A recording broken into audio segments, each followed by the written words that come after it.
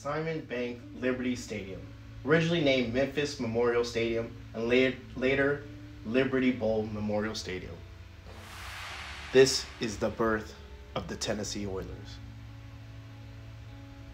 The stadium was originally built as Memphis Memorial Stadium in 1965 for 3 million as part of the Mid-South Fairground, then home to one of the South's most popular fairs. Its design is similar to the old Tampa Stadium, the Big Sombrero, with the end zone grandstands being much shorter than the sidelines. The stadium is designed in such a way that of all seats having a relatively good view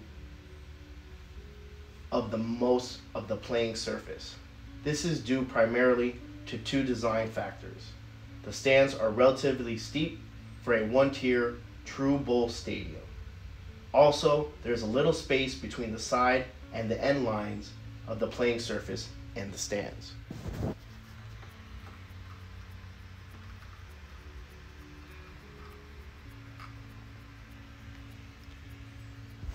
In 1997, the NFL Houston Oilers announced that they would play two seasons in Memphis as the Tennessee Oilers before the Adelphia Coliseum their new stadium in Nashville, now Nissan Stadium, was completed in time for the 1999 season. The largest stadium in Nashville at the time, Vanderbilt Stadium, then seated only 41,000 fans, too few even for temporary use. Vanderbilt University was also unwilling at the time to let beer be sold at the games. Although the Vols', Neyland Stadium in Knoxville, was slightly closer to Nashville, it was team it was deemed too big for an NFL team. Pepper Rodgers was named the Oilers' director of Memphis operations. The team was to live and practice in Nashville, commuting to Memphis only for games. Although the idea seemed acceptable enough to the league and the team at the time, the 1997 season was a disaster because of the lack of fan ownership for the temporary team. Many Memphinians wanted nothing to do with the team, which could be lost in two years, especially to longtime rival Nashville. For their part, Nashvillians were skittish about having to drive 210 miles to see quote unquote their team play. An unfortunate coincidence, Interstate 40 was undergoing extensive repairs just east of Memphis at the time.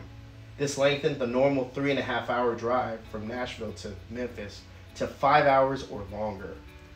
As a result, the Oilers played some of the smallest home crowds seen in NFL since the 1950s for the most games, and the visiting teams often seemed to have more supporters than the Oilers.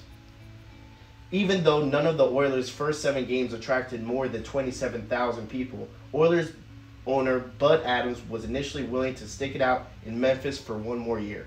However, that changed with one only one game that drew more fans than could be comfortable been accommodated at Vanderbilt. The year's final game, the Pittsburgh Steelers.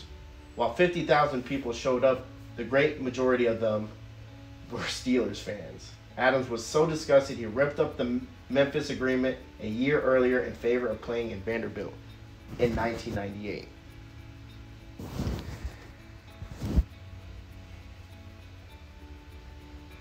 This stadium has so much history, so much Titans history, even for the two years. And yes, the birth of the Tennessee Oilers happened with Steve McNair, Eddie George, and the list goes on of great players that actually were physically on the field. Even if it was only two years, this will always go down, this stadium, as part of Titans history. Because, yes, the Tennessee Oilers are the Titans. We are history. Just so many memories. Would love to see Eddie George run in that stadium, and it was awesome to see and to experience that. I want to thank everyone who's actually watched this video and hopefully you guys learned something about Liberty Stadium. Remember, guys, we always have dreams of seeing things. this is one of my dreams. And definitely, heroes get remembered, but legends never die. Thank you, and Titan up.